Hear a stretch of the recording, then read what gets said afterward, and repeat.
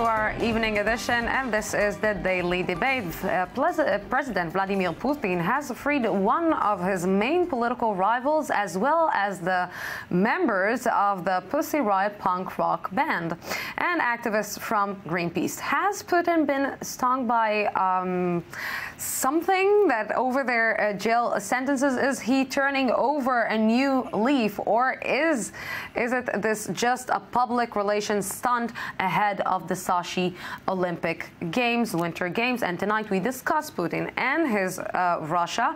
What sort of a leader is he, and what sort of a country is he running or going to run? Joining me uh, tonight to look at this issue are Paula Slier, Middle East Bureau Chief of Russia Today TV. Good evening. Hello. Good evening. And Olena Bagno Moldavsky, Research Fellow at the Institute for National Security Studies and an expert in Russian foreign policy in the Middle East. Good evening. Thank you both for coming. So, what should we, uh, is Vla President Vladimir Putin actually changing his color?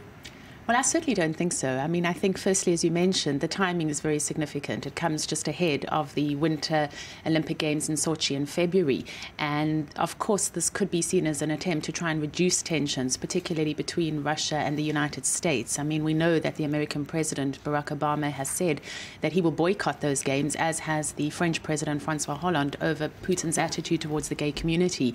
But certainly, it is an attempt to try and present a more humane face, if you like, a, a new kind kind of image of President Putin and the presidency that he is leading. But the point also needs to be made that he still has a grip on power, and perhaps by releasing these people, it actually shows that he's very confident in his position, that he doesn't see them in any way as being a threat. Uh, is he confident, or someone, someone is telling him maybe you should cool down?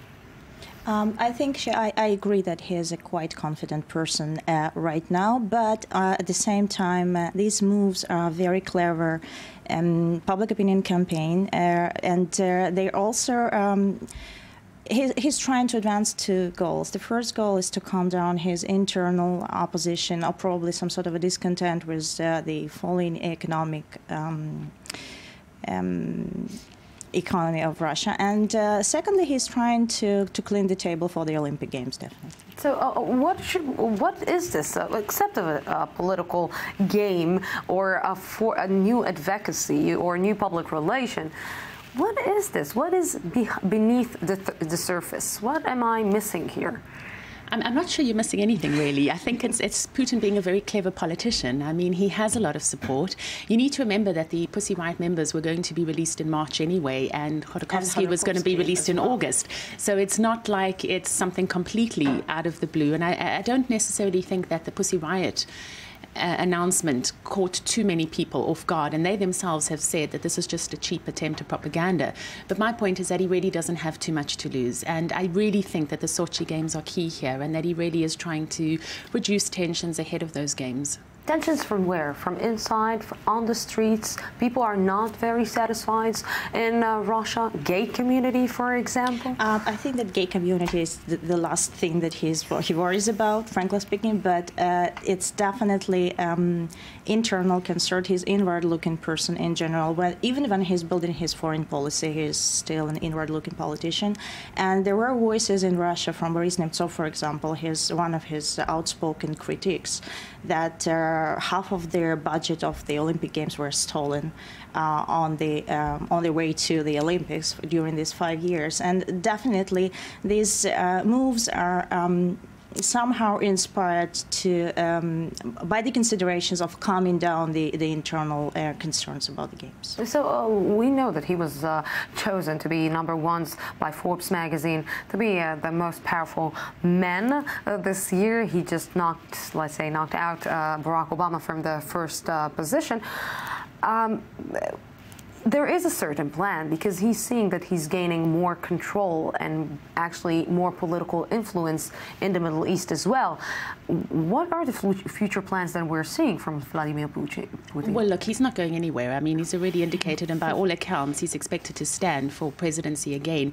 He is very popular in Russia. Certainly, under his presidency, the economy has grown. There have been more jobs. Salaries have increased, particularly in the military and the army, and the image of Russia has also improved. So people respect and admire him within Russia itself. And, and that is something that he's well aware of. And of course, he needs, and as you say, he's playing to the domestic market. So that is something that he's going to want to keep improving as time goes past.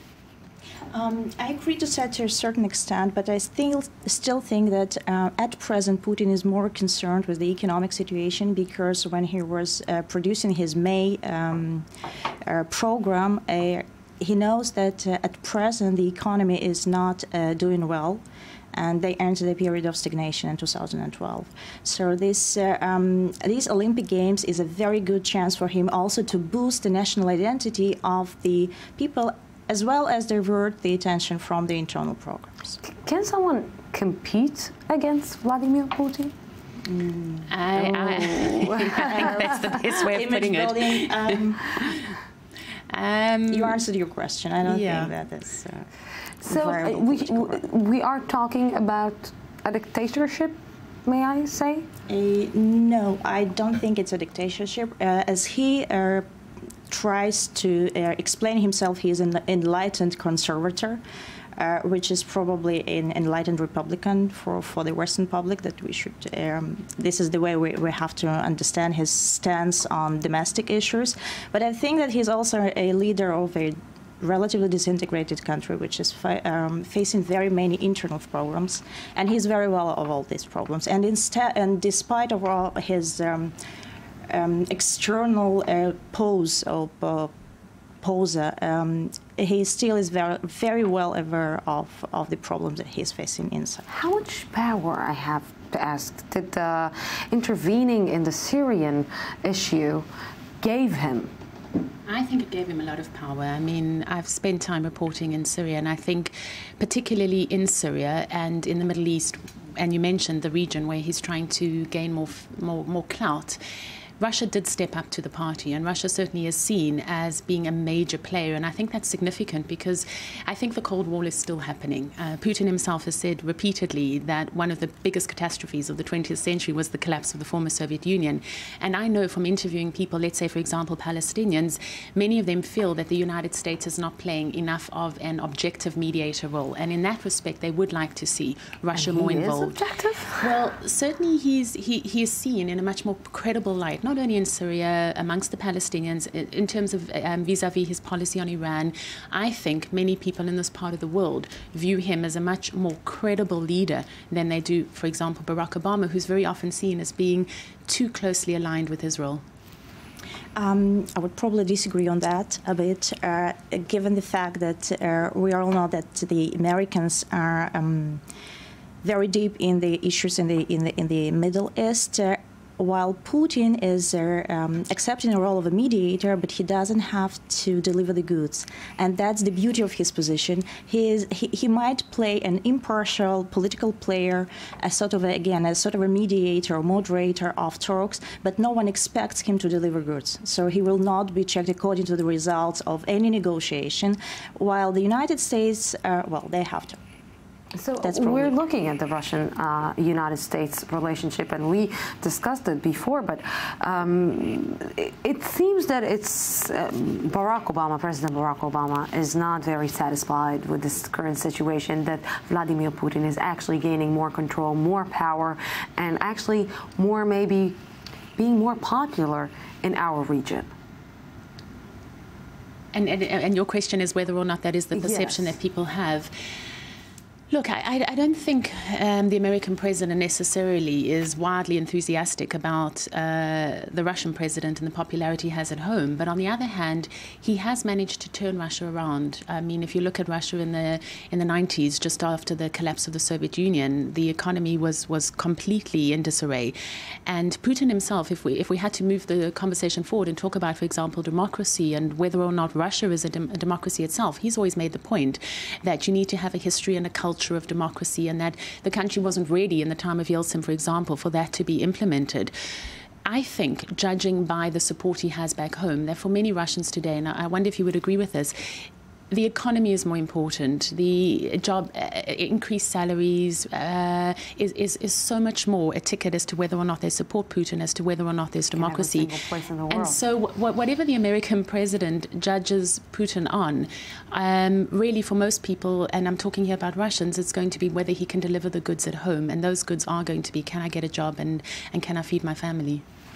Um, I agree that that economy is mostly important for Russians, but I would say that here Putin is it's the most vulnerable po um, point for Putin because his economy mainly depends on petrodollars, and now we are in the most favorable uh, econ economy economic position in terms of uh, prices of oil and gas. So uh, the uh, modernization of Putin's of uh, Russia's industrial sector is very slow, and uh, from that point of view, I think Putin is going going to face very, very serious um, test of his power in, in the nearest future. He might need the help of the United States. Uh, I do not think that he will need. Oh, might, he might need, but will he get it? That's a different question. So, are we talking about a relationship that is actually deteriorating with time? Mm. I think this relationship uh, knew ups and downs.